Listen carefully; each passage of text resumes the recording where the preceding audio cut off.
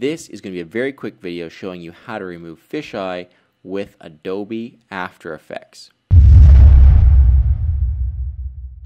We've got our GoPro footage loaded onto a new comp. It's the only thing on the comp down here.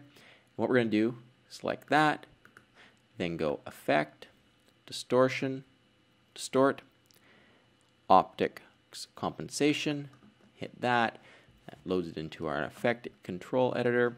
We're then going to click reverse lens distortion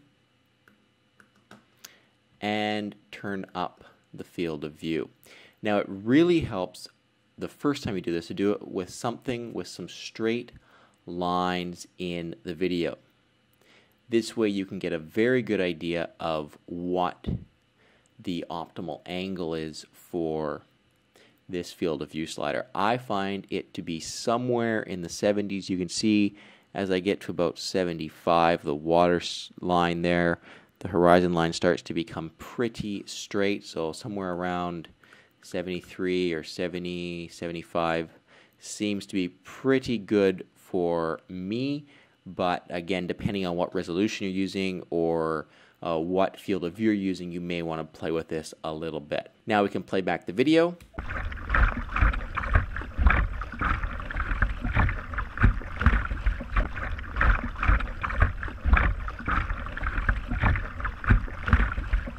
And you can see the difference between the two video clips. It's worth explaining a little bit about how this works. Basically, it stretches the outside edges of the image bigger. So it takes the two top corners and the two bottom corners and stretches them out. This means that you actually end up losing quality in the sides of the video. If I toggle this effect off, you can see that the edges of the video look much sharper when the optics compensation is turned off. So there's off and there's on. Now, if you wanted to fix this, shooting all your video in something like 2.7K and then scaling it to 1080p as you do the optics compensation would fix this and would retain much, much higher image quality in the sides of your shot. This was another GoPro tips and tricks video. If you've enjoyed it, please make sure you check out my channel for lots more videos.